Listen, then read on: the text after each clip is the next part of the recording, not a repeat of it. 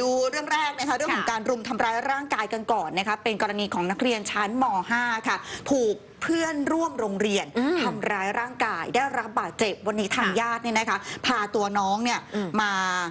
ร้องขอความเป็นธรรม เพราะใช่รู้สึกว่าการถูกกระทำแบบนี้เนี่ยมันไม่โอเคเลยใช่นค่ะ ซึ่งทางเจ้าหน้าที่ตำรวจนะคะ ก็ได้นัดไกล่เกลี่ยนะคะ ทั้งสองฝ่ายเป็นที่เรียบร้อยแล้ว แต่เบื้องต้นเนี่ยยังต้องรอใบรับรองแพทย์ก่อนนะคะอืมเพื่อที่จะนำมาประกอบสำนวนคดีนั่นเองค่ะค่ะ จากกรณีนะคะเด็กนักเรียนชั้นม .5 วัย 16 ปีค่ะ ของโรงเรียนแห่งหนึ่ง ที่จังหวัดนครราชสีมาเนี่ยนะคะ พร้อมเพื่อนและพี่สาวได้ไปเที่ยวงานงิ้วประจำอำเภอค่ะและถูกรุมทำร้ายค่ะ จนได้รับบาดเจ็บสาหัสอืมกระดูกคอเนี่ยเคลื่อน ศีรษะแตกสมองได้รับความกระทบกระเทือนอุ้ยแม่คุณไปทำร้ายร่างกายอะไรกันขนาดนั้นนะคะค่ะหลังจากเข้าแจ้งความเพื่อดำเนินคดีกับคู่กรณี ทางญาติของนักเรียนผู้ถูกกระทำค่ะรู้สึกว่าเขาไม่ได้รับความเป็นธรรมนะคะ เนื่องจากตำรวจสพคงเนี่ยได้ปล่อยตัวผู้กระทำผิดไป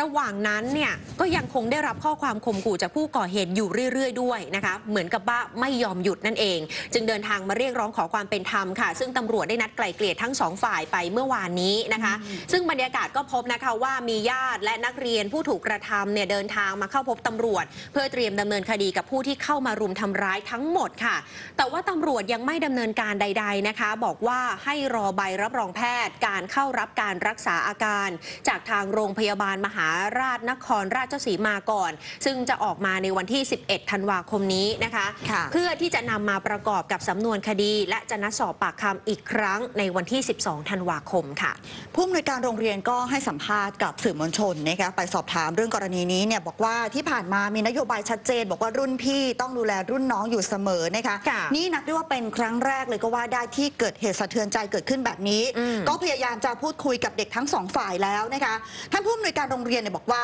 โดยส่วนตัวนะคะเชื่อว่าทั้งคู่ยังไงซะเป็นพี่น้องเป็นนักเรียนร่วมสถาบันเดียวกันเนี่ยนะคะ ลึกๆก็คงต้องเคารพกันอยู่บ้าง แล้วก็ไม่ได้เรียนสายอาชีวะด้วยเป็นสายสามัญแบบนี้ค่ะไม่น่าจะเกิดเรื่องแบบนี้ขึ้นเนี่ยนะคะค่ะส่วนตัวของท่านผู้อำนวยการบอกว่าเชื่อว่ากรณีนี้มีมือที่ 3 เข้ามาเกี่ยวข้องอืมมีเรื่องของคนนอกเข้ามาเกี่ยวข้องแน่นอนนะคะ อย่างไรก็ตามเดี๋ยวจะวางมาตรการที่เข้มงวดขึ้น แล้วก็จะดูแลเอาใจใส่นักเรียนให้ใกล้ชิดมากขึ้นค่ะ